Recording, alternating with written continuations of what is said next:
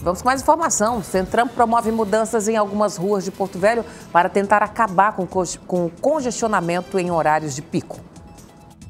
Uma das medidas começa segunda-feira, dia 18, na Avenida Calama, entre Guaporé e Venezuela.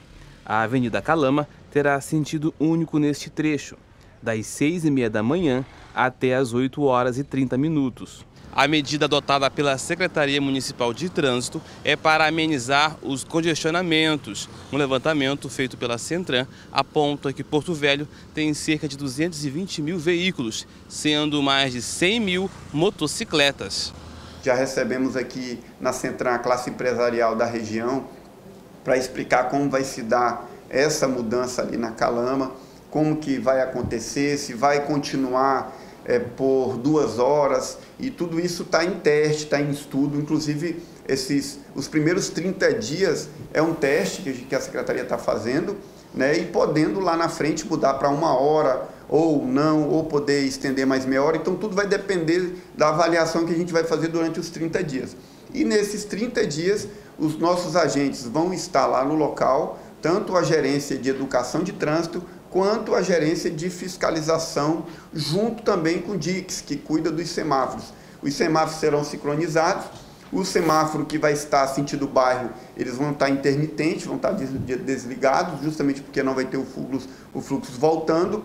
As linhas de ônibus Orgulho do Madeira, Guajará, 4 de janeiro, Cristal da Calama e Cristal da Calama via Planalto mudarão de rota. É uma medida paliativa, mas a gente sabe que a solução definitiva são medidas é, muito maiores, muito mais efetivas e permanentes.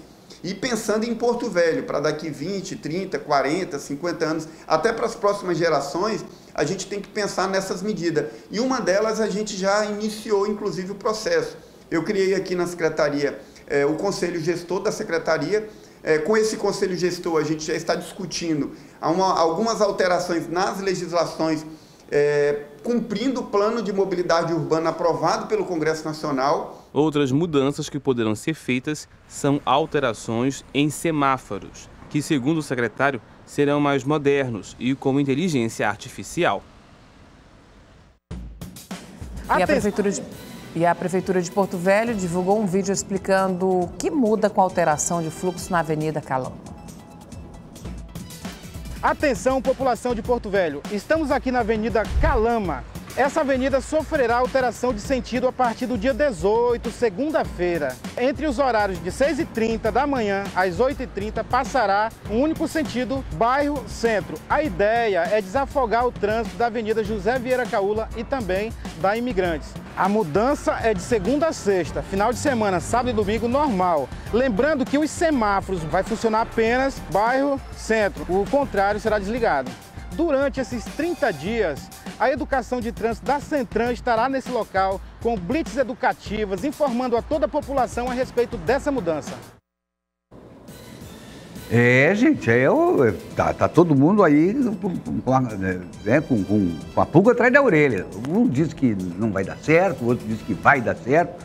Eu, eu recebi aqui o, o, Vinícius Godoy falando assim: acho que esse negócio de mudar de sentido na calama em certo horário não vai ou não haverá de dar certo. Haver, haverá acidentes, tem que ser uma alteração permanente. Enfim, é uma opinião. Vamos orar que dê tudo certo, né? E é preciso que dê tudo certo, porque eh, o trânsito realmente nessa, nesse trecho ali está truncadíssimo nesse horário, não é?